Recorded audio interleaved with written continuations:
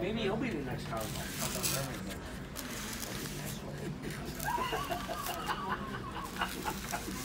I hate that guy.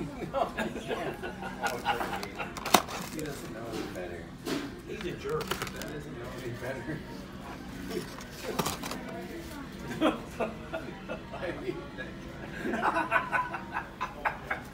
Why did you say that? I'm telling about all the, all the people I love and then I hate that guy.